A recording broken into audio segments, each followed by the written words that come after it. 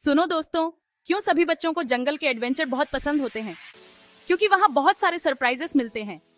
चलो, बेन की कहानी में गोता लगाते हैं। घने हरे जंगल में बेन निकल पड़ा एक मज़ेदार एडवेंचर पर। उसकी जिज्ञासा उसे जंगल के अंदर तक ले गई, जहाँ उसकी मुलाकात एक शानदार बाघ से हुई। लेकिन रुकिए, ये कोई मामूली बाघ नहीं था, वो घायल था, उसके पंजे में कांटा चुभा था। बेन के मन में डर और करुणा, दोनों भाव थे। वो धीरे धीरे आगे बढ़ा। दिल धड़क रहा था और उसने स्थिर हाथों से कांटा निकाल दिया। बाघ की खूंखार आँखें नरम पड़ गईं और एक अनोखी दोस्ती शुरू हो गई। हर दिन बेन जंगल जाता था।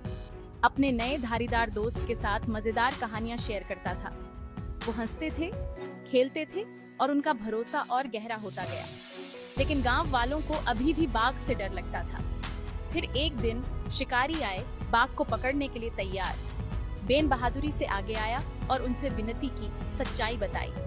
उसकी सच्चाई से प्रभावित होकर शिकारियों ने बाघ की जान बख्श दी। और इस तरह जंगल के बीच में एक लड़के और एक बाघ के बीच एक खास रिश्ता बन गया। सबूत इस बात का कि दया और दोस्ती कहीं भी पनप सकती है। अगर आपको ये कहानी पसंद आई हो तो लाइक दबाएँ और और भी मज़ेदार कहानियों के लिए सब्सक्राइब करें।